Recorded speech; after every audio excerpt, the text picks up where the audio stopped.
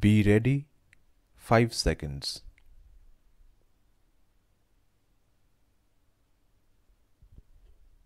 I am glad to be here today on the historic occasion of Constitution Day. On this day, 73 years ago, the Constituent Assembly adopted this document of our collective destiny. We are commemorating today the adoption of the Constitution that has not only guided the journey of the Republic over the decades, but has also inspired several other nations in the drafting of their constitutions. The Constituent Assembly was composed of elected members who represented all the regions and communities of the nation. They included stalwarts of our freedom movement. Thus, their debates and the document they prepared reflect the values that guided the struggle for independence. When we read the names of the members of the assembly, we are bound to feel a surge of pride. The decades before independence were marked by an unusual number of extraordinary individuals. I sincerely believe that no other place and no other time have produced a galaxy of giants like them.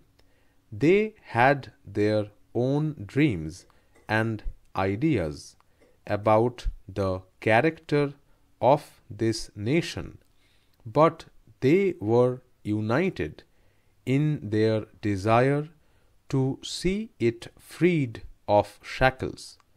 They all made great sacrifices to ensure that the coming generations would breathe the air of a free nation. The first among them all, of course, was the father of the nation. The visionary leadership of Mahatma Gandhi created a generation of great leaders. The Constitution bears an unmistakable stamp of Gandhian principles. Equally, the President of the Constituent Assembly and also my great predecessor, Dr. Rajendra Prasad, and the chairman of the drafting committee, Dr. B. R. Ambedkar, converted a grand vision into words. I am especially proud of the fact that the 389 members also included 15 women. When some of the leading nations in the West were still debating women's rights, in India, women were participating in the framing of the constitution. Hansaben Mehta, one of them, also made a critical contribution in the drafting of the Universal Declaration of Human Rights. Sarojini Naidu, Sucheta Kripalani, Durgabai Deshmukh, and other women members were already seasoned campaigners, having dedicated themselves to the freedom movement. Speaking of women, I would like to note that their participation in public life since independence has shown an upward trend. But there is no reason to be content. I understand the judiciary too strives to enhance gender balance. The cornerstone of the Constitution is summed up in its preamble. Its singular focus is on how to increase social good. Its entire edifice rests on justice, liberty, equality, and fraternity. I would like to note here that these four stellar values enshrined in our Constitution have been part of our own timeless heritage.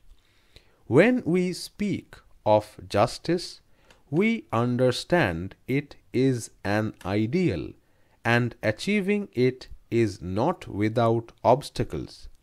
Here I must mention my immediate predecessor, Sri Ram Nath Kovind, who often stressed on the cost of justice. The onus is on all of us to make the process of seeking justice affordable to all. I appreciate the efforts made by the judiciary in this direction.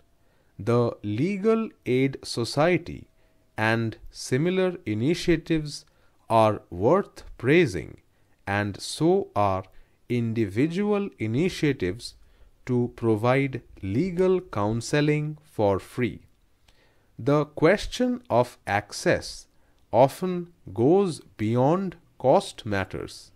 The Supreme Court of India and several other courts now make judgments available in a number of Indian languages. This praiseworthy gesture makes an average citizen a stakeholder in the process. It can also raise their awareness as well as the quality of public debates. Still, the legal language, its complicated expressions and jargon are challenging for most people. I understand that this matter has been debated in the judiciary too. Let us hope the day is not far when more and more people from outside the legal fraternity too will be able to read important judgments. The Supreme Court and several other courts have started live streaming their proceedings, which too will go a long way in making citizens effective stakeholders in the dispensation of justice. The Constitution outlines a map for good governance. The most crucial feature in this is the doctrine of separation of functions and powers of the three organs of the state, namely the executive, the legislature, and the judiciary. It has been the hallmark of our republic that the three organs have respected the boundaries set in place by the Constitution. Each of the three aims, after all, to serve the people. It is understandable that in the zeal to best serve the interests of citizens, one or the other of the three organs may be tempted to overstep.